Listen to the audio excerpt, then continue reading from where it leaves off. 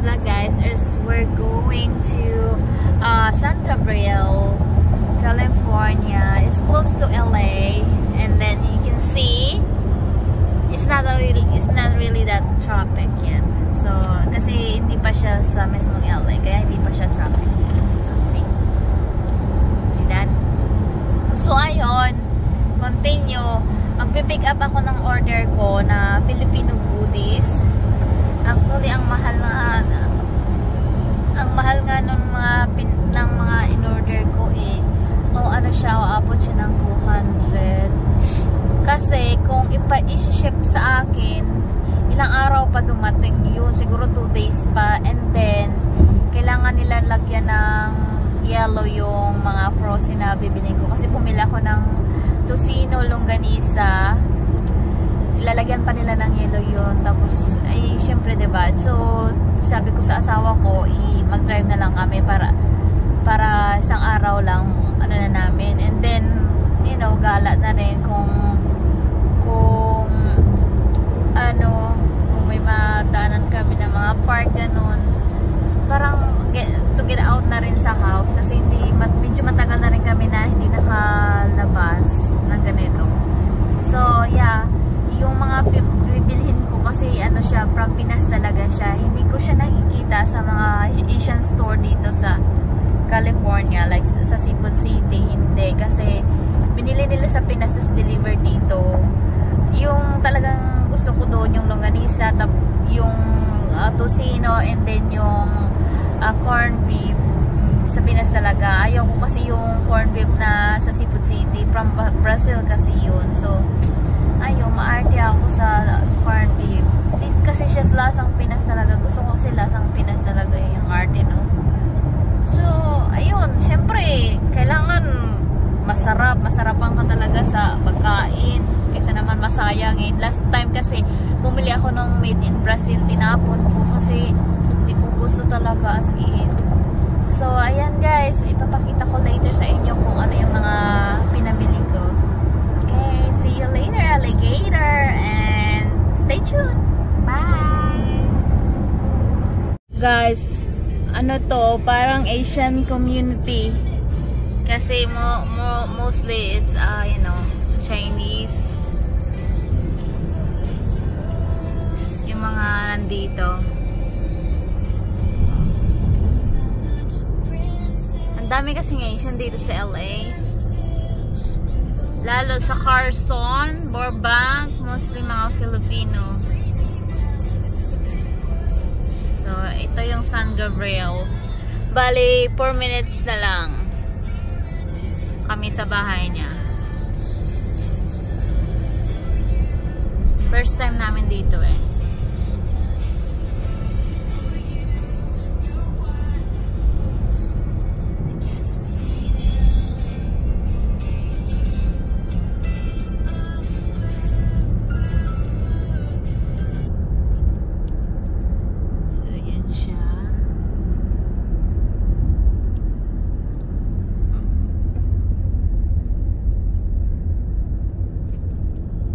enemies.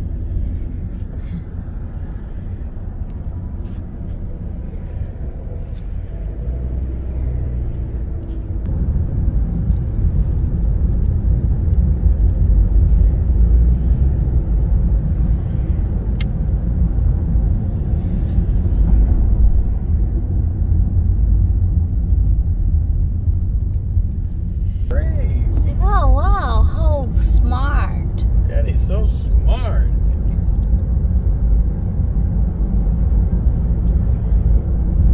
In a quarter mile, turn left on the East Broadway.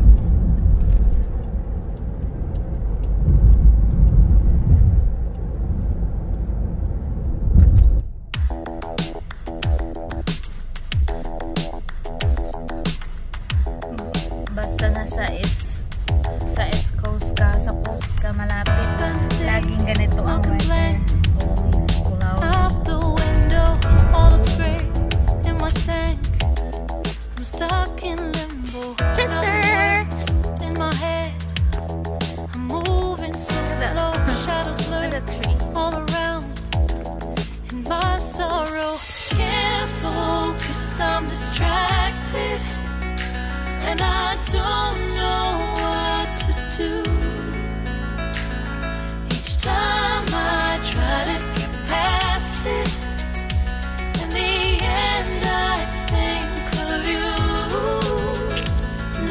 Fine here without you.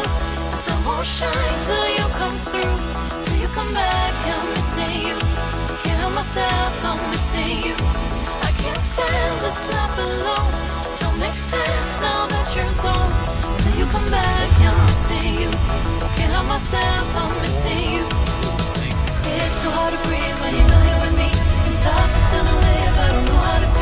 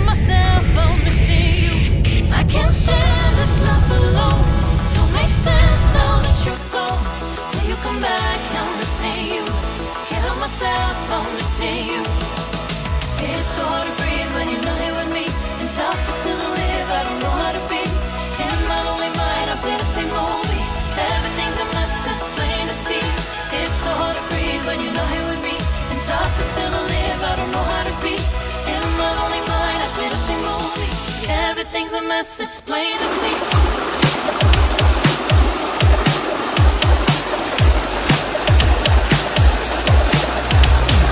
Oh, where have I been? Stupid silence. You've been standing right there all along. Even though it's been unspoken so long. I'm only waiting for you, just waiting for you to give it enough. Uh, you know I'm begging for you, just waiting for you to show me your love. Uh, Cause I wanna be certain we don't have to be lonely, we don't have to be hurting.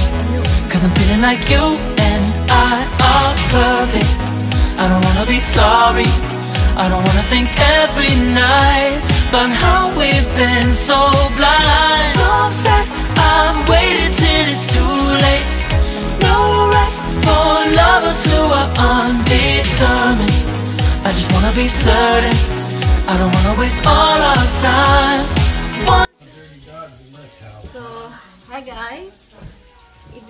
Ipapakita ko sa inyo kung ano yung mga nabili ko sa As I Promise.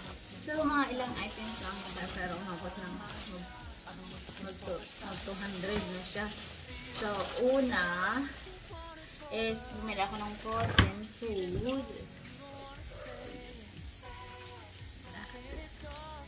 Ito, yung longganisa. Yan, nasa ano to, nasa $25. Tingnan ko lang siya, oh. Ilang piraso lang yan. Ano siya, ah, 450 grams. And then, itong tocino, lang ata. 50 grams naman to. Ah, hindi. 450 din siya. And ang pinakamahal is itong hot dog. Tender juicy hot dogs. Is ano siya nasa uh, $35. Mahal na. Tapos itong yakisoba. Mahal din to siya guys. Ang, sa, ang isa nito is $3. That's, sa peso is 2 ang $1 is 50 sabihin natin 50 $3 150 150 isa. Too much diba? Pero wala na. Huwag mo lang bird para hindi ka masaktan lalo so tatlo yung binili ko so 9 tatlo ata yan. Ay apat. Apat 12 $12 and itong chow chili chili mansi tag dalawa ata to. Ay apat din pala to. Apat yung nilo ko. Ito naman is 199 199 ang isa